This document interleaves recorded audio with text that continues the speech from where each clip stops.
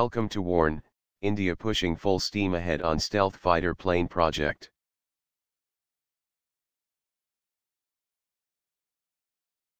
India is pushing full steam ahead on its plan to build an indigenous stealth fighter plane amid an uncertainty surrounding the proposed India-Russian fifth-generation fighter aircraft, FGFA, a top government official said on Friday.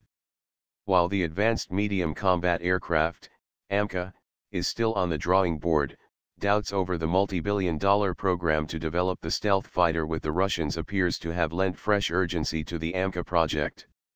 Only the US, Russia and China have such programs. The first prototype could be built in 10 to 12 years if all goes according to the Aeronautical Development Agency's plan, government sources said. If the FGFA project doesn't work out for some reason, the AMCA could be a good alternative. However, that would be a long-term plan as production will begin only around 2035 to 37, a senior Indian Air Force, IAF, officer said. A three-member government committee is all set to submit its report on the viability of the FGFA program. The panel was set up three months ago.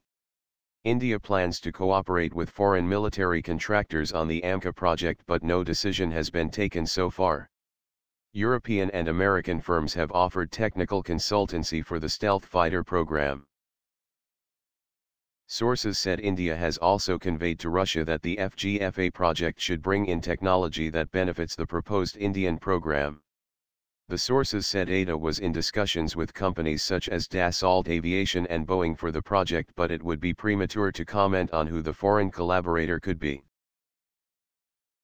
It's too early to even speculate about that as we have not even tested the AMCA airframe. That's still around a year away.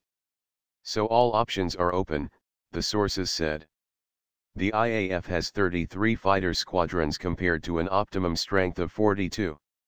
It is hoping to beef up its combat potential with the induction of the Tejas light combat aircraft, more Sukhoi, 30S, Rafale jets, the FGFA and a medium-weight fighter that could be built in India in collaboration with a foreign vendor. Thanks for watching. I hope you like this news. Please share your views in comment box. Please like and share this video. Press subscribe button and bell for auto update to you regarding my channel world action and reaction news, warn.